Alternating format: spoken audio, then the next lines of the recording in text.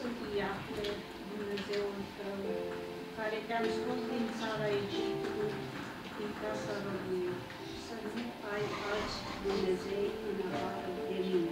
Amin.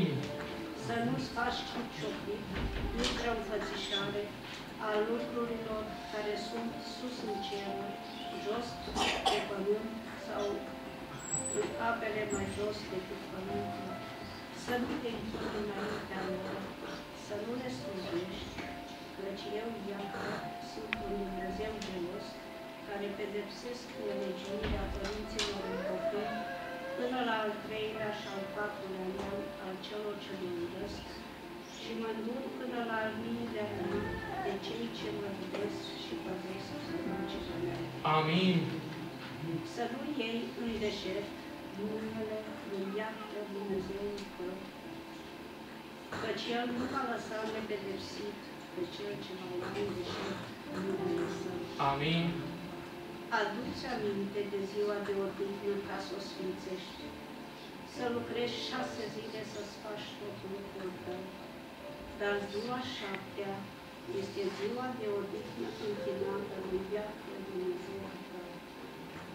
Să nu faci nicio lucrare în ea, nici tu, nici fiul tău, nici fica ta, nici robul tău, nici vica ta, nici măgarul tău, nici străinul care este în casa ta.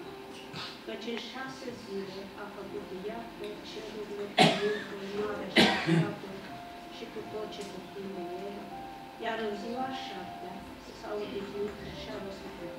Amin. De aceea a binecuvântat Iahve ziua de odihnă și a sfințit. Amin. Cinstește pe tatăl tău să ți se lungească zilele în țara pe care ți va da Iahve Dumnezeul tău. Amin. Să nu ucizi, Amin. să nu prea vorbești, Amin. să nu furi, Amin.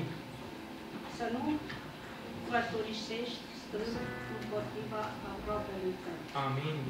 să nu poftești casa aproapelui tău, să nu poftești nevasta aproapelui tău, nici robul lui, nici roba lui, nici măgarul lui, nici vica, nici vreun alt lucru care este al aproapelui tău.